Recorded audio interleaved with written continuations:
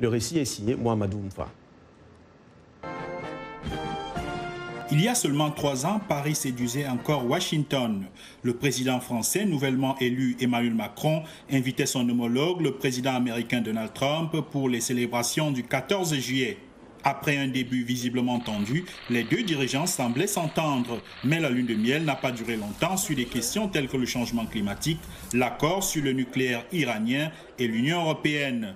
Les relations se sont refroidies. Macron soutient les accords multilatéraux tels que l'accord de Paris sur le climat et l'accord sur le nucléaire iranien duquel l'administration Trump a retiré les États-Unis. Alors que Paris milite pour une Union européenne forte, le président américain est sceptique.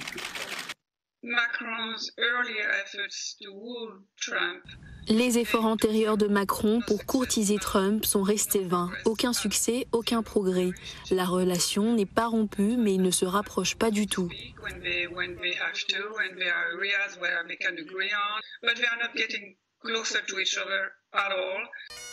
L'année dernière, Macron a décrit l'OTAN comme étant en état de mort cérébrale, accusant Washington de tourner le dos à l'alliance militaire. Trump, pour sa part, a reconnu l'importance de l'OTAN tout en invitant les Européens à payer leur contribution. Les Français, parce qu'ils jouent un rôle diplomatique particulier en Europe, savent qu'ils ne peuvent pas compter autant sur leur allié transatlantique pour le moment.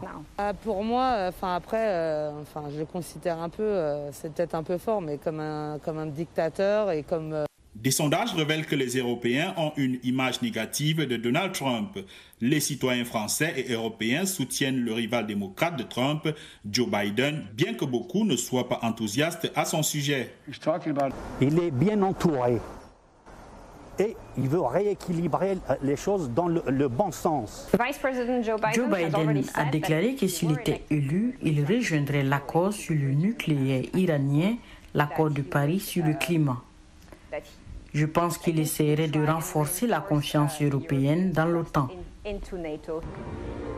Mais tout le monde en France n'est pas anti-Trump. Le Front National, parti d'extrême droite, soutient généralement son administration, ainsi que certains conservateurs. Des observateurs ajoutent aussi que les relations entre la France et les États-Unis ont connu des moments difficiles, comme lorsque la France s'opposait à la guerre en Irak. Mais le contexte a changé. L'attention de l'Amérique s'est déplacée ailleurs, vers l'Asie, le Moyen-Orient et l'Amérique latine. Avec le désengagement de Trump de certains accords signés par l'administration Obama, la confiance française et européenne aux États-Unis s'est un peu plus érodée. Peut-on faire confiance à la signature, à l'engagement du président américain? Non, nous ne pouvons pas et c'est pour toujours, parce que nous savons que le prochain président peut annuler ce qui a été fait. Toutefois, certains considèrent toujours que la relation franco-américaine et transatlantique en général repose sur des bases solides.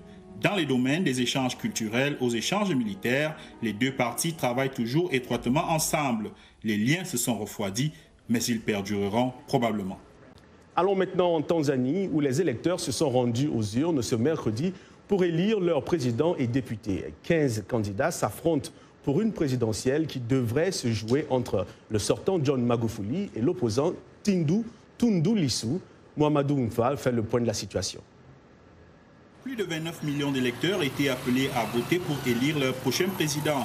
Le sortant John Magufuli, 60 ans, qui cherche à briguer un second mandat de 5 ans, a voté à Dodoma, la capitale. Il en a profité pour appeler à un scrutin apaisé.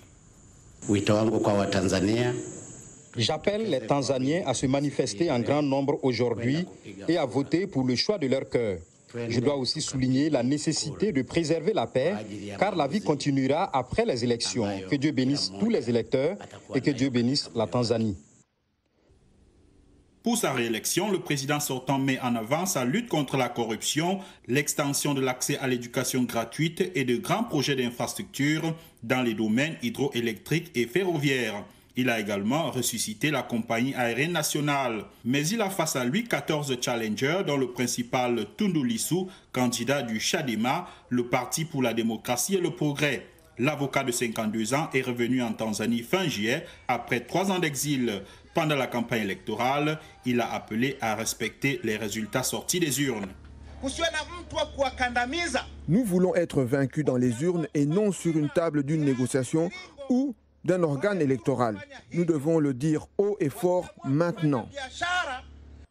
Ce mercredi, sur son compte Twitter, l'opposant a fait état d'irrégularités pendant le processus électoral.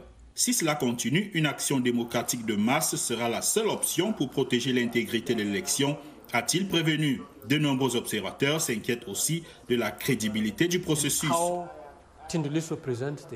Dans le scénario actuel, où des observateurs électoraux n'ont pas été dûment accrédités et en l'absence d'observateurs crédibles étrangers ou de l'ONU, on aura du mal à prouver techniquement que le processus est libre et juste.